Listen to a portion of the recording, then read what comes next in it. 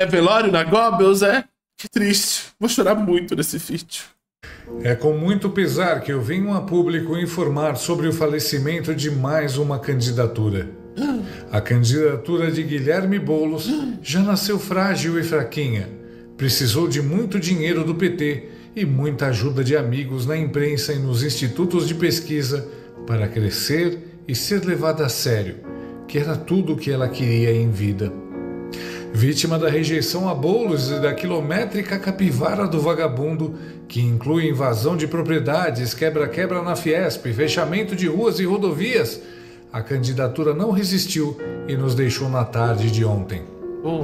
O importante é que, mesmo fraquinha e esquelética, enquanto a candidatura esteve viva, levou muita diversão e risadas aos espectadores dos debates, aos cidadãos honestos e, claro, Pablo Marçal. Seus pais, PT e PSOL, estão inconsoláveis. O velório com caixão fechado está acontecendo na Globo News. Peço a todos a gentileza de respeitar o luto e não rir da tristeza deles.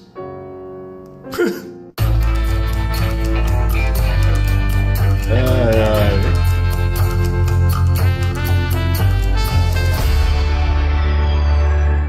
A temper... Nada como ouvir o choro de lamentação das viúvas de seus inimigos.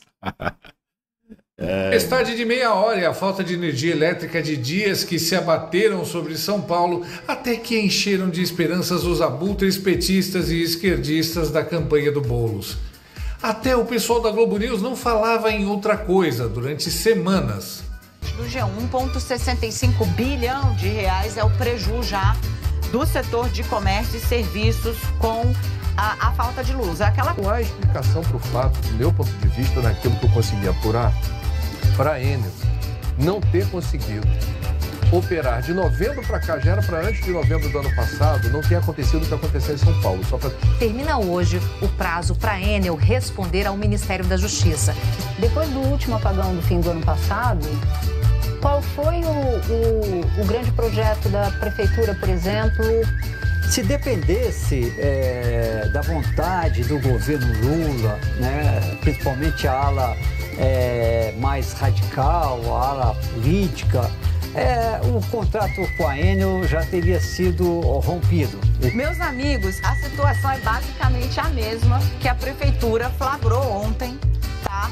Essa... São duas vertentes aí, né? Vamos separar a atuação da ANEEL e também as decisões do governo federal. Bom, de fato, só foram investidos, só foram gastos pela Enel 2,3 bilhões de reais. E são imagens exclusivas que você vê aqui no especial de domingo. Quem fez essas imagens, Daniela, foi um cliente qualquer com um drone? Não. Essas imagens foram feitas pela Prefeitura Não. de São Paulo. Eu te... Eles se aproveitaram da situação para fazer palanque político e culpar o rival de bolos, Ricardo Nunes, muito embora a responsabilidade seja do governo Lula. Mas as primeiras pesquisas estão saindo e o veredito é claro. O povo de São Paulo prefere ficar alguns dias sem luz do que o resto da vida sem casa. De acordo com a Paraná Pesquisas, Boa. Nunes tem 52,3% das intenções de voto, enquanto o invasor de propriedades tem 39,2%. Mas o comedor de açúcar tem outro adversário além de Ricardo Nunes na disputa pela Prefeitura de São Paulo. Boulos tem de lidar com o crescente índice de rejeição, que passa a beirar os 50%. De acordo com o levantamento do Instituto Paraná Pesquisas, 48,8% dos eleitores paulistanos afirmam que não votariam de jeito nenhum no gigolô de sem-teto para o cargo de prefeito. Eu incluso. Há uma semana, tal indicador estava em 48,1%, ou seja, oscilou 0,7 ponto percentual para cima. Ganhar, a derrota não que vem chegando e que sim vai respingar e sujar as fraldas geriátricas do Lula, padrinho de bolos, é inevitável. Talvez por isso, o puxadinho do PT, também conhecido como Globo News, está em clima de velório. Veja o choro da viúva do Boulos e assistente de palco do Lula Mocreia, digo, Andréia Sadi. Se no primeiro turno a gente falou aqui o tempo todo que Bolsonaro era o grande derrotado, com o Nunes ganhando, Nunes perdendo, se o Boulos perde, o Lula vai contratar essa, contratou essa derrota. Não adianta dizer que não, porque uhum. quem é, disse que essa eleição ia ser entre Lula e Bolsonaro foi o próprio Lula. O Lula costurou, foi ele que liderou a costura para colocar a Marta Suplicy na vice do Boulos. E, como o Boulos até contei aqui, ele disse para mim no comecinho do segundo turno, todo mundo já sabe que o Lula me apoia. Quem não, as pessoas não sabem que o Bolsonaro apoia o Nunes, que isso ia ser uma das estratégias, colar o Nunes no Bolsonaro. Mas isso vai ser um, um, um, um problema gigantesco para o presidente Lula perder a cidade de São Paulo, tendo apostado e entrado. Não de forma presencial, Otávio, assim, né? Tá lá todo dia, não, não precisa. Mas vai ser uma derrota para o presidente. Vai, vai ser, mas não foi uma disputa, na minha visão, entre Lula e Bolsonaro. Porque o Tarcísio Sim. entrou em campo. Sim, como então, o Lula falou em janeiro, que seria, né? Ele não tá, seria, é. é. Por que todo mundo quer descolar o Bolsonaro do Tarcísio, hein? O próprio diz, pergunta pro Bolsonaro tudo antes de fazer alguma coisa, mano. Mas enfim, né? É, mas foi o Tarcísio, uhum. quer dizer. É, e aí, a estratégia do Lula não, não, não ir para São Paulo é porque o poder no Brasil já vê o Tarcísio com mais perspectiva de poder do que qualquer outro. Né? Seja daqui a quatro anos, se o Lula. Daqui a dois anos, se o Lula estiver fraco, é, ou daqui a quatro anos. Né? A, a, e aí chamam de poder o poder econômico, poder político, etc. Quem tem a perspectiva de poder hoje no país é a direita e o Tarcísio é a, o principal nome da direita. A Mocreia quase chorando. Vamos fingir então que a Rede Globo acredita que o Lula é um ótimo cabo eleitoral. Tá bom, faz de conta. Nem torcidas organizadas de clube de futebol têm debates nesse nível. É. Meu Deus do céu. Como pode esses pseudo-jornalistas falarem isso? Para não dar crédito a uma possível vitória do Nunes a Bolsonaro, já estão articulando para dar crédito a Tarcísio. Aí eu pergunto a Mocreia: quem elegeu Tarcísio? Engraçado, quando querem ganhar né? voto é. Vamos acabar com esses bolsonaristas! Mas na hora que perde é. Não perdemos para Bolsonaro porque Tarcísio entrou em campo! Mocreia, o que fará Nunes vencer a eleição não é o Tarcísio, Bolsonaro ou Lula, e sim a alta rejeição ao Boulos. E muitos desses votos são de eleitores do Bolsonaro, que inclusive elegeram o Tarcísio. Coisa linda de se ver as meninas superpetralhas desesperadas por saberem que o painho vai levar uma fumada bonitaça e com a assinatura do Bolsonaro. Mas a choradeira continuou e ficou mais profunda quando a Mocreia se ligou que a esquerda não tem nomes. Política, como tudo na vida, é expectativa, é planejamento, é você olhar e você ter uma promessa de um futuro, de um sonho, de algo que você está é, dando uma, alguma coisa para as pessoas pensarem e terem como referência. A esquerda não faz isso. A referência da esquerda, estou falando PT, não estou falando esquerda no geral, mas com chances de ganhar, vai, vou colocar assim, que hoje é o PT, que tem o Lula. Mas você olha para a direita, você já citou o Tarcísio, eu já falei de Bolsonaro, está inelegível. A gente já falou do Marçal, não sabemos o que vai acontecer, mas é um fato novo aí na, nesse campo. Aí você vê na entrevista do Valdemar nesta semana para o Globo, ele fala do Nicolas, aí ele cita Eduardo Bolsonaro, está falando, tem nomes. Carlos. No campo da esquerda, Michele, você tem o Você tem o Boulos, que tem essa. A gente, pelas pesquisas, está com. Não tem, crescendo. Né, não está conseguindo avançar. ainda está trocando de imagem. Nunca desrespeite uma lagarta, né? Enquanto as borboletas estão voando aí e morrendo. É, tá trocando ainda tá demais. trabalhando a imagem dele. Mas, mas tá falando ainda... igual, só tem lagarta. A falou aqui. Só estamos crescendo. Quando a gente fala disso, Nem de começamos lideranças, ainda. ela fala, ah, peraí, mas a gente está falando de gente com perspectiva de ganhar. Tudo bem, mas em algum momento você precisa discutir esses nomes com perspectiva de ganhar.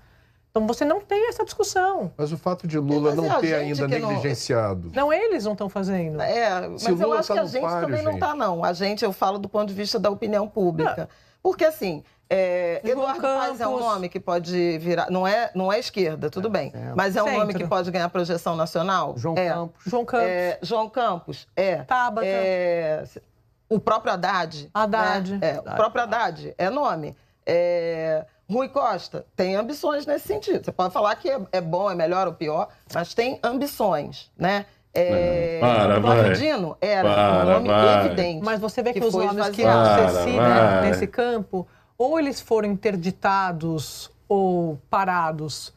Qual é a diferença, né? Antes que ela fale. A diferença é que todos esses nomes têm centenas de milhões de reais do contribuinte, ou seja, os otários aqui que estão falando e ouvindo esse vídeo, né? E todos eles foram criados de forma artificial. Todos eles. Você tira toda a grana do Boulos, eles somem amanhã, velho.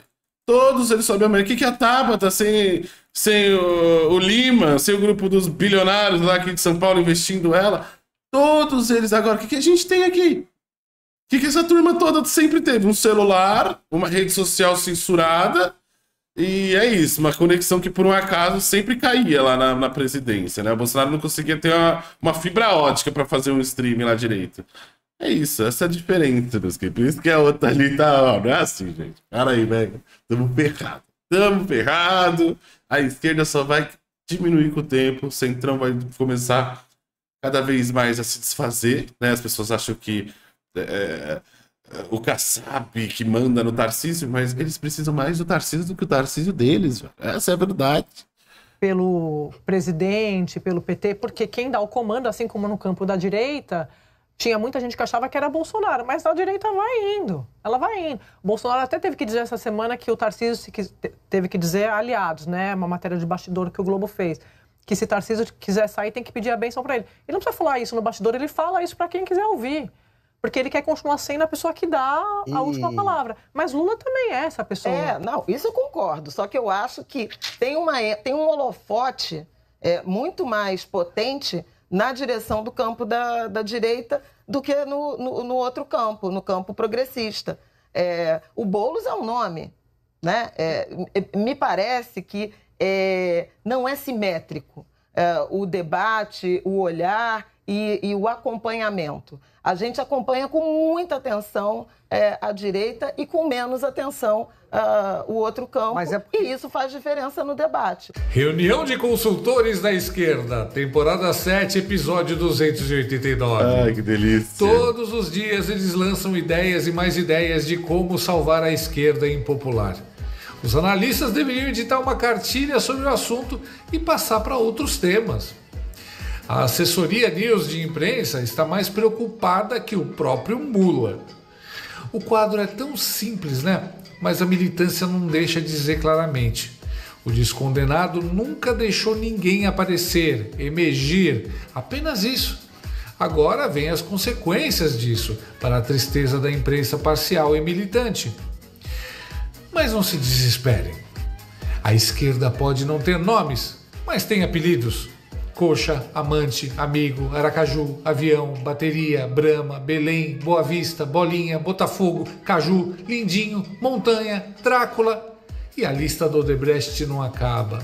Olha o tanto de apelidos. Como assim não tem nomes? Agora, sério. Os maiores nomes da esquerda e que podem garantir muitas eleições são dois: Xandão e urnas eletrônicas. O resto é resto. Agora, outra coisa é, interessante fala são isso não, mano, vamos ser presos, velho. Fala isso não, Luiz, vamos ser presos, cara. Para com isso, mano. As urnas são confiáveis, tá? E Alexandre de Moraes é o deus iluminista, que tudo sabe, tudo vê, tudo julga, então ele que manda. Campo progressista. o campo mais destrutivo da política é chamado de progressista. Tá bom. E é repara, a Mocreia Sadi chamou Bolsonaro e seu campo de direita não mais de extrema direita. Eles devem ter descoberto que estavam virando meme. Estão chegando à conclusão que seus esforços em destruir a direita, inclusive chamando-a de extrema direita, foram inúteis e que sua parca audiência e nada é a mesma coisa. Estão na iminência de ver Boulos tomar um chute na bunda do eleitorado paulistano que vai doer em Lula. No final, o comentarista político e presidente do fã-clube do Lula, Octário, digo, Octávio Guedes, se juntou à choradeira e fez um discurso de derrotado conformado. Sabe por que a opinião pública não está tá prestando mais atenção na direita do que na esquerda, como a Flávia diagnosticou, e eu acho que é um diagnóstico correto? Uhum perspectiva de poder nesse país está com a direita. É, por isso que eu falei de perspectiva. Então, por isso que se olha mais para a direita. Quem são os nomes? E tem essa questão, quem são o nome pós-Bolsonaro. Enquanto você fazer uma discussão pós-Lula, é, é, você indica que ele tem que pendurar. Mal sabem eles que o Bolsonaro vai voltar, né, mano? Já estamos. O pós-Bolsonaro, não, cara. Não é pós-Bolsonaro, é as alternativas que a gente tem. O Tarcísio, o Centrão só tá louco babando no Tarcísio porque a gente não pode votar no Bolsonaro, caralho. Simples assim, velho. Durar as chuteiras. Mas a perspectiva de poder, como nos anos Lula, você não olhava líderes de direita, porque a perspectiva de poder estava com o PT.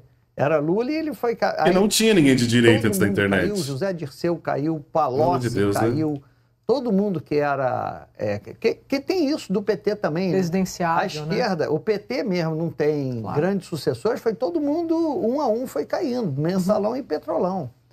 É, me lembra aí, José Dirceu. Você falou. Palocci, é, já lembrei. Então. O Tarso é... que depois. Oi? O Tarso um tempo, né? Tarso é, Genro. Pois é, Tarso Genro. Mas aí, quando o Lula decide a sua sucessora, eu já falei isso aqui várias vezes, ele escolhe Dilma com a perspectiva de que em 2014, é. como se ela estivesse esquentando o banco. Mas não existe não isso, né? Quanto eufemismo! Como eles pisam em ovos! Quem os vê falando de Zé Dirceu, Palocci, etc., e não sabe, tem a impressão que estão se lembrando de heróis de guerra. Hum. Por que ele não fala Todo mundo foi preso por corrupção? Ao invés de Todo mundo caiu. O patrão não caiu. deixa, né? De todo jeito, esse é um momento tocante e raro. Dificilmente você vê os ajudantes dos vilões tão desanimados, reconhecendo as burradas e a derrota chegando. Isso aí é como ver os capangas do Coringa ou do Pinguim minutos antes de apanharem do Batman e saberem que vai doer e que o palhaço fez um plano falível. Todo mundo desanimado, só se lamentando, se lamentando pela impopularidade da esquerda e a derrota iminente do Boulos. Eles tentaram, tentaram, tentaram e no final não adiantou. O sonho não. de Boulos morreu. Agora é tempo de luto para os jornalistas da Globo e a gente tem que respeitar. Não chorem, amigos da Globo News. A candidatura de Bolos está num lugar melhor no cemitério, junto com a credibilidade de vocês. É oficial. Boa noite a todos. Eu estou aqui para conversar com você, que assim como eu, está dois dias sem energia elétrica na sua própria residência. São Paulo não pode viver à luz de velas. Mais de 900 mil pessoas hoje estão sem energia. Muitas delas deixaram sua casa sozinha. E vontade. Gostou desse vídeo? tá na descrição, fortalece no like e até a próxima. Tchau, tchau.